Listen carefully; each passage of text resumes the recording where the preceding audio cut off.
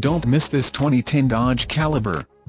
It's equipped with transmission and features a brilliant black crystal pearl exterior. With 41,078 miles, you'll want to take this car home. Make a great choice today. Contact us and see this car firsthand.